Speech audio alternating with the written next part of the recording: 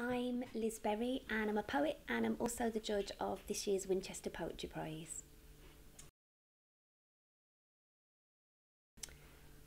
I came to Winchester in its first year and it's so brilliant to be back here. I think it's a lovely warm festival. It's got a really wide, diverse programme, really enthusiastic audiences and it's in this really amazing venue, the Discovery Centre. What a great place for poetry, a Discovery Centre.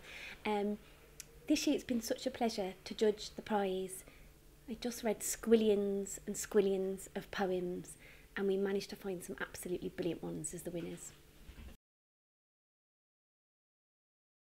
I'd love to come back. I came in my first year with my first book to read and this year I've been teaching which was a real joy and judging the poetry prize so I'd love to come back again in some capacity.